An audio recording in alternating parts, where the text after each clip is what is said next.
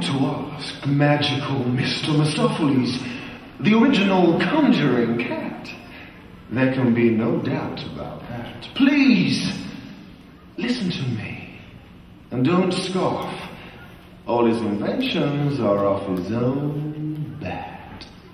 There's no such cat! in the metropolis. He holds all the patent monopolies for performing surprising illusions and creating eccentric confusion. The greatest magicians have something to learn from this non-stop